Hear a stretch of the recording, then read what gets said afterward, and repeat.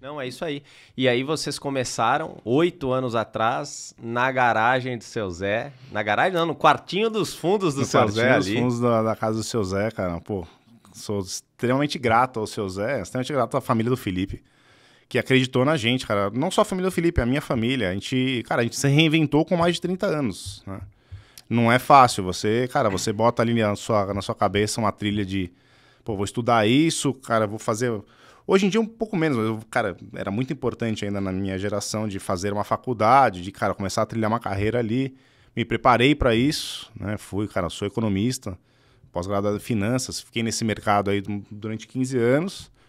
Tive um problema de saúde com 31 anos de idade, aonde tudo, cara, tiraram minha base, né? Eu tava lá, pô, tava bem de grana, gastava dinheiro sem pensar muito, não tinha muita responsabilidade ali. E do nada, Deus foi lá e falou: Cara, vamos lá, vamos trazer um pouco mais de cor para sua vida aqui, vamos mudar um pouco sua perspectiva. E me trouxe um desafio enorme. Puxou de... um fusível. Exatamente. me trouxe um desafio enorme. Cara, grande parte da minha. Eu sempre fui muito grato, mas, cara, grande parte da minha gratidão vem daquele momento, né? De entender como tudo pode mudar muito rapidamente e que é legal você agradecer o momento que você está vivendo. Demorou um pouco para cair a ficha ou não? Demorou. Assim, cara. Pra a... cair a ficha nesse sentido de tipo assim. Eu, eu imagino que deva ser. Tudo bem, mal comparando, né? Mas é. De um momento a outro te surgiram algumas limitações, até porque mesmo a recuperação foi longa, né? Pô, mas assim, é literalmente de um momento de um dia para o outro, tudo mudou. Um dia, cara, eu tava lá com 31 anos de idade, homem, cara. O homem com 31 anos de idade tá basicamente no seu auge ali, cara, de força física, capacidade mental, motora, tudo, oh, tudo junto, cara. Você olha para mim e você vê tudo isso que ele tá falando. mas é isso, cara. 30 anos. É legal que a gente continua amadurecendo. É, é, bom, cara. A vida é muito legal. Você continua amadurecendo. Mas 31 anos você tá, cara, você tá forte, cara. Você tá forte. Obrigado. Você tá obrigado. bem, cara. Você tá disposto, tá ligado? Com 42, que eu vou fazer agora, você já. Você já tem, tem menos disposição do que consentimento ali. Mas enfim, cara. Então, naquele momento, um dia antes eu estava fazendo fechamento de uma empresa que faturava bilhão e uma baita uma responsabilidade, ganhando um bom salário, ganhando um bom bônus, tendo um bom carro, tendo uma baita uma qualidade de vida. No dia seguinte, cara, eu estava numa cama de hospital com um enfermeiro me limpando, cara, porque eu não estava conseguindo nem controlar as fezes, basicamente, cara. Então, foi um baita de um baque, foi um baita de um baque e eu fiquei 100% lúcido, cara. Eu entendia eu via o que estava acontecendo, eu sentia as coisas. Não acreditava, eu queria acordar do, num pesadelo, né? Porque, cara, foi muito rápido. Foi muito rápido do nada, cara. Do nada. Eu, literalmente, eu estava fazendo um processo de fechamento, né? Parte de economia.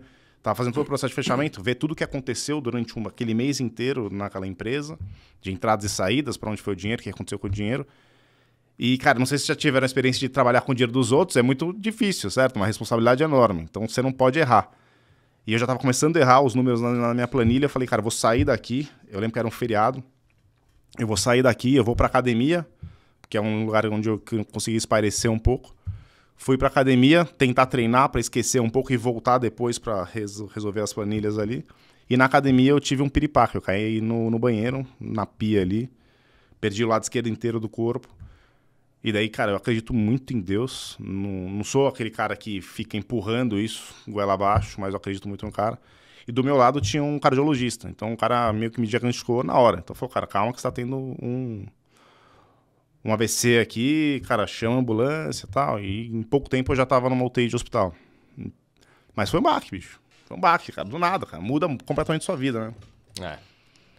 Da noite pro dia. Da noite pro dia. Mas bom, alguns anos já se passaram. Uh, nesse meio tempo você acabou saindo lá e veio a iniciativa. Tinham outras hipóteses ou você depois disso realmente falou assim, não, eu não quero mais aquilo ali, quero mudar. É, nasceu essa vontade de, de iniciar o Super por necessidade ou, ou era tipo... Não, cara, não foi por necessidade, foi... Aconteceu. Foi por justamente ter visto que, é. cara, eu não quero mais aquilo. É, eu tentei voltar para o mercado. Eu voltei uhum. para a empresa onde eu estava empregado. A empresa foi muito legal. Ela não me demitiu no meu processo de recuperação. Fiquei seis meses internado no Simão Toro, que é um lugar espetacular. Eu fiquei tendo é, fazia fisioterapia basicamente das 8 da manhã às 6 horas da tarde para tentar me recuperar. Fisioterapia, TO, que é terapia ocupacional. Fiquei seis meses ali, cara, intensivos. Aí saí, voltei para a empresa e, cara, voltei literalmente de bengala, como um vaso quebrado. E literalmente, assim, é muito grande, né? São Paulo é muito grande, o Brasil é muito grande. Mas quando você começa a ocupar algumas posições em algumas empresas, fica pequeno. As pessoas te conhecem, sabe de onde é. uhum. é. Então eu já sabia que eu seria eternamente um vaso quebrado. Já sabia que nunca ninguém me apertar, já sabia que ninguém me chamar para uma reunião e falar, cara, tá acontecendo isso assado, porque, cara, vai que o cara vai ter outro piripaque dentro da empresa, pior ainda. Sim. Então ali a gente costurou uma saída, eu tentei ainda ser consultor, mas já muito infeliz e com muito medo. Muito medo. Uhum. Eu tive o piripaque por infelicidade, cara. Sim, eu era, era um cara realizado em termos de grana e frustrado em relação ao que eu fazia. Eu não era feliz, velho. Não era feliz mesmo, cara. Ficava um dia inteiro preso num lugar fazendo algo que eu tinha competência para fazer, mas não era brilhante. Qualquer pessoa que tivesse o treinamento que eu tive e as experiências que eu tive poderia fazer aquilo. Eu não conseguia agregar com nada de muito novo. Então era um cara, meu, medíocre para mim, cara. Então aquela mediocridade me matava. E literalmente quase me matou. É... Depois, depois desse tempo, período, cara, eu parei. Daí meus pais, cara, falaram: segura a onda aí, cara, a gente tá aqui. A gente tem uma. A família tá aqui para isso. Segura a onda, vê o que, que você quer fazer, no que, que você se encontra. E nessas, cara, cara, meus amigos sempre foram os amigos do postinho, cara. Sempre foi no lance de carro. Então, cara, era no postinho que eu ia trocar ideia, era com carro que eu meio que ficava bem assim e gastei uma grana de rescisão que eu não deveria. Tô sabendo. Comprando um Subaru WRX que me trouxe excelentes amizades, cara. Então tava duvidosas, duvidosas eu diria. Cara, tava sem saber o que, que ia entrar de grana e torrando a grana ali da, da rescisão com o carro. Então assim, hoje quando eu falo pra galera, pra galera que tá junto comigo ter responsabilidade financeira, não é um querendo tirar do ar, assim, ó, cara, pô, vamos todo mundo ser responsável. Cara, é pegando como base os erros que eu cometi na minha vida, cara. Então, Sim. se eu puder fazer com que uma pessoa evite ou minimize a, as sequelas dos erros delas contando os meus, eu faço sem o menor problema, cara. Bom, enfim, postinho, cara, comecei a vender açaí no posto, que ficou muito grana, a, a grana ficou muito curta, eu botei meu apartamento que eu tava pagando parcela. Isso depois do W? Isso depois do W. O W, você lembra que virou bronzina, sim, certo? Sim. Era um mas virou muito na frente dos VTI. muito, cara, muito. Porque o, o, meu rolê era aí no, no encontro dos Rondinhas, né? Do Honda Club lá, velho. E, cara, pô, eu tava com o W e era muito legal, cara. A gente ia fazer uns passeios, né, amigáveis ali, e, cara, e rolava o show da pirueta, que você ficava fazendo assim. Nos... Você passava, dava uma voltinha, passava, ficava fazendo assim. Que eram todos amigos, né? Brincadeiras à parte. E tava muito bom aquele carro, velho. Aquele mapa que você fez foi muito forte, velho. Tinha boost controle manual, Não, tinha, tinha, intercooler, tinha... Meu, tinha... Era, era, bem legal. Era, pô, Mas ainda era 2000, um Subaru. 2014? É, e a gente não tinha o Everton. Na verdade, a gente tinha o Everton, mas ele tá, é, trabalhava dentro da concessionária. É, exato, exato. A gente não tinha. Não tinha então a gente não tinha esse apoio, esse é, respaldo. O Everton, na época, ele era o traidor do movimento, que ele dedava quem mexia nos carros, entendeu? O, o Everton, ele vale salientar. Exatamente. Hoje ele tá ali para ajudar a gente, mas naquela época. ele, ele tava do outro lado da mesa. Ele, ele, era da garantia, né? Mas beleza, enfim. E, cara, eu lembro que aquele carro, velho, era a minha. Eu, como eu era feliz com aquele carro, velho. Porque era um carro que poucas pessoas até conheciam, né? E era muito forte, velho. Tinha 300 e bal cavalos de roda naquela época. Sim. Porque é mais ou menos a mesma coisa que a gente fez no último W da Auto Super, certo? Vermelho. Sim, era sim. A, a proposta de a receita ali era mais ou menos igual. E, velho, o que eu fazia aquele cara era surreal, velho.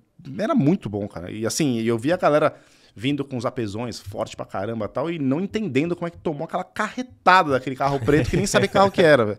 E eu sou o cara que eu sempre troco ideia, eu abaixo o vidro, troco ideia, dou risada, falo, pô, animal, né, tal, tal, os caras, o que que é isso, tal. Para no posto, troca ideia. Enfim, e, cara, daí, enfim, só para voltar, o cara tive o respaldo dos meus pais. Conheci o Felipe, o Felipe foi um cara. O Felipe é um cara bem injustiçado até no nosso meio, assim. Ele tem um jeito duro dele, ele fala várias besteiras, eu também falo, qualquer um fala. Mas ele é bem injustiçado. Foi um cara, cara, que quando eu tava mal, mal assim de grana, assim, eu já tava, voltei a morar com meus pais, voltei meu apartamento que eu tinha que pagar a prestação para alugar, para conseguir pagar a prestação e não perder apartamento. Uhum. Comecei a, já tinha separado, da, da mãe da minha filha, cara, e nesse período, pô, grávida, cara. Quem já passou por isso sabe o, a responsabilidade que um pai tem nesse momento. Fala, cara, eu preciso ser provedor, cara. Eu, eu vejo meu pai, o meu, tá, meu exemplo tá em casa. Meu pai é um baita do marido pra minha mãe, minha mãe é uma baita de uma mulher pro meu pai, eu quero, eu almejo isso pra mim. Então tentei fazer de tudo para não perder as coisas. E tava perdendo, tava, tava, vendo as coisas passando pelo meu dedo ali, tudo que eu demorei tanto para construir, tava indo embora. Tipo, o Subaru eu tive que vender pro mecânico, porque eu não tinha grana para para consertar o motor. Sim. Então ele foi embora pro cara que consertou e eu me livrei de uma dívida. É... E, cara, os meus pais me seguraram a onda. Meu pai um... é um baita de um amigo segurou a onda e falou, cara, agora tenta se ajeitar, tenta se arrumar. Conheci o Felipe no encontro do Honda Clube lá, já depois, ele começou a participar, comecei a vender açaí. Ele era o meu melhor cliente, vendia vários açaís para ele. Ele achava que estava fazendo uma baita compra fit, né? mal sabia que ele estava engordando que nem o louco. e daí, cara, ele foi um cara que, meu, pô, meu, você gosta de carro, gosto, pô. E eu tinha uma Megane blindada, comprei muito numa oportunidade usada e, cara, só me dava problema. Daí ele falou, cara, vai dar um rolê de Astra. Ele tinha um Astra Turbo. Ficou uma semana comigo o Astra Turbo. Daí a gente começou a desenvolver uma amizade. Nessa, eu voltei para o mercado contra a minha vontade. Eu voltei a ser consultor ali de finanças. Aí fui trabalhar num, numa startup do Flávio Augusto. Na, Flávio Augusto. O dono da WhatsApp. Sim, é, sim, sim. dono do, do, do Orlando City e tudo mais. A gente estava fazendo os estudos de viabilidade para mandar uma galera que tinha grana no Brasil para morar nos Estados Unidos. E uma das crises do Brasil, né? Muita gente. Sempre tem uma crise política econômica no, Brasil. A galera que tem muita grana, parte fica e parte vai embora. Então, muita uhum. gente qualificada vai embora do nosso país. Acho que essa é uma grande perda, né? Muita mão de obra boa aqui. Muita gente que agrega, poderia agregar para agregar o país, vai embora. E daí nessa eu encontrei o Felipe, cara, mostrei uma página que eu tinha começado, que eu criei ali, que chamava Auto Super, que há oito anos atrás dividia conteúdos de car care, que nos Estados Unidos bombava e aqui ainda não existia. Sempre gostei muito de lavar carro, foi uma, é uma autoterapia. E daí de lá começou o Auto Super, né? O cara começou a me ajudar pra caramba, pô, potencializou. Aí eu vi que tinha um potencial de monetização. A gente atingia 3 milhões de pessoas por semana no, no Facebook. Então eu falei, nossa, estourei, velho. 3 milhões, cara. Cara, se eu conseguir tirar um centavo de cada um, pô, eu tô bem. E fazendo Era numa época que não existia isso tanto. Tipo, na real, não existia nenhuma empresa disso. Eram pessoas que ocasionalmente Sim. chegavam a brilhar, como era o caso do ADG e Sim. tal. Mesmo o ADG, na época, eu acho que não tinha uma empresa de mídia ou não, voltada para mídia. Eram não, sempre as pessoas não. que estavam ali fazendo conteúdo. Sim. Então, talvez Eles ali... trinchando aquilo lá. Tava Exato. trinchando, né? Era tudo mato, como mato, Era tudo mato. Então o cara tava sendo, cara, novato no negócio. E, mas eu já sabia que tinha potencial, né? Porque tinha uma galera acompanhando. Daí eu tentei vender, a gente tentou vender chaveiro. Pô, a gente tinha 3 milhões e meio, cara. Vamos fazer um chaveiro da Auto Super, cara. A gente vendeu um total de zero chaveiros. A gente falou, caramba. Ou seja, tem uma Não galera é, consumindo o conteúdo que a gente está colocando, mas o conteúdo que a gente está colocando é nosso. Porque a gente começava a baixar conteúdos e publicar na nossa página, uhum. no Facebook. Eu acompanhava um cara que morava nos Estados Unidos, que era um vlogger, que era o Casey Nest que era um baita um vlogger legal, e ele era produtor de vídeo. Então os vídeos dele eram muito legais, eram sete minutos de vídeo, super dinâmicos, super legais, com vários cortes, e contavam alguma coisa legal durante o dia daquele cara num país muito legal, que é os Estados Unidos, uma cidade muito fervorosa, que era Manhattan, lá, né, em Nova York. E daí o cara, o Felipe, um dia pegou uma câmera emprestada do, do, do sei lá, do irmão da, da, da esposa dele, e falou, velho, a gente vai gravar. E, cara, eu sempre fui, fui o cara financeiro, cara. Eu sempre fui o cara tímido, minha vida inteira, cara, fui tímido, eu nunca fui. Fui me descobrir que eu podia ser um comunicador com 31 anos de idade junto ao Super. Né? Então eu ficava assim, cara. Eu comecei a até falar que eu era youtuber, tinha mais de dois anos já de canal, cara. Eu tinha vergonha, cara. E era um negócio assim, não, não existia isso aqui. Não, não era legal ser youtuber, tá ligado? Não era uma profissão. Era o cara zoado, É, né? você era, velho, você era o cara que tava se metendo na besta e se, e se achava Ah, olha lá o youtuber, olha é. lá, ó. E, velho, Puta. e, mano, a gente comeu muito o pão que... Não foi... Eu não gosto nem de falar o nome desse cara, mas a gente comeu difícil, velho. O começo da Auto Super foi, foi punk, assim. A Auto Super só existe porque a gente teve muita... Muito apoio das nossas famílias, tá ligado? Então tiraram de onde não tinham no momento para que os filhos pudessem se redescobrir e se fazer. E deu muito certo. Então por isso que eu sou extremamente grato ao seu Zé.